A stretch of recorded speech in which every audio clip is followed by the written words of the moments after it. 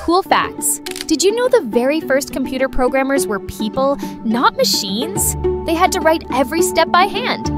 Computers only understand two things ones and zeros, just on and off like a light switch.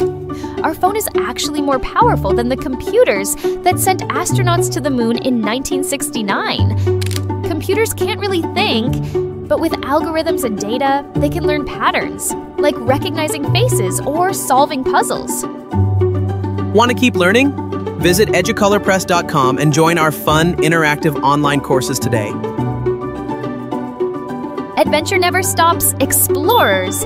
Like, subscribe, and ring that bell so you can join us wherever we go next.